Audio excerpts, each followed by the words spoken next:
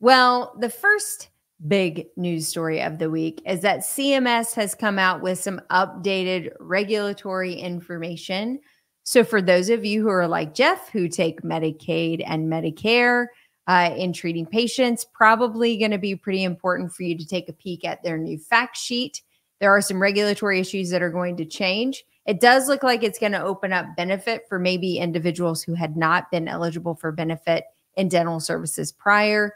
So definitely worth a look if in your office you currently take govern government subsidy programs. They definitely are working in that direction to increase adult dental benefit.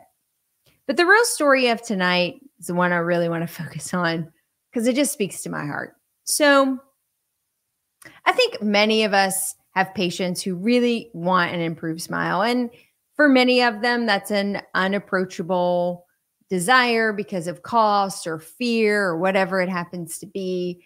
And they want to consider veneers, and you walk them through that process and, and you go through um, the diagnostics and treatment planning for patients. And for most of us clinicians, we've spent years perfecting that craft. It's dental school, it's undergrad, it's dental school, quite often residencies, additional training, CE deep dives, digital smile design, Kois curriculums, SPEAR curriculums hundreds of thousands of dollars of an investment. But you could have just gone to a two day weekend course to become a really highly qualified veneer tech and then go to your local community and provide veneers for your local citizens at a heavily discounted price. And we know this is happening all over the country. It's been in major national news uh, print, magazine, news stories on TV, etc., about veneer techs advertising their services on social media to provide veneer uh, services to patients at a significantly discounted fee. Well, it continues to bite those end users in the you know what.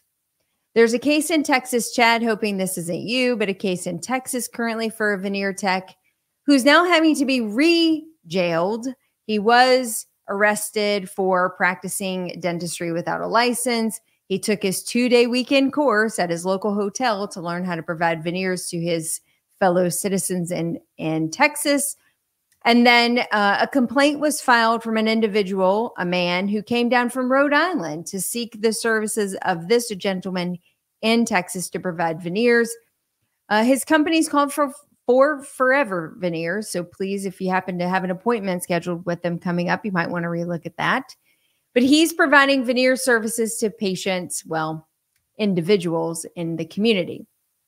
He was arrested for providing veneer services without a license, practicing dentistry without a license, arrested, allowed to go out on bail with the assurance that he would no longer be practicing dentistry without a license and just a very short few days later, he was back advertising again his veneer services and providing additional services to folks in his community.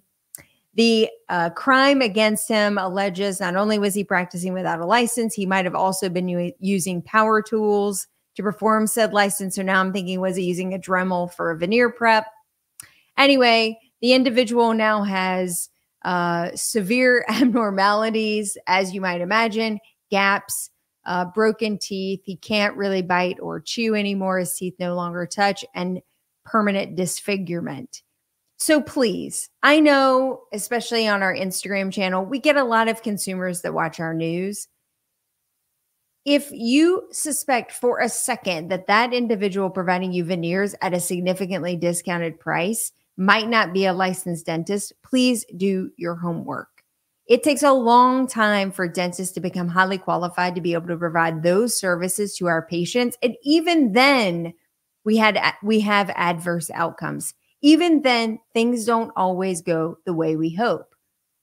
But fast forward and put that in the hands of someone who's not qualified, who doesn't understand and adverse outcomes or how to troubleshoot when things don't go the way they want or heaven forbid, doesn't even understand the biological components of what they're working on. And you're going to allow them to operate on what I think is one of the most sensitive and vulnerable areas of the body just because it costs you a couple thousand dollars less. maybe it's just not the right time for veneers.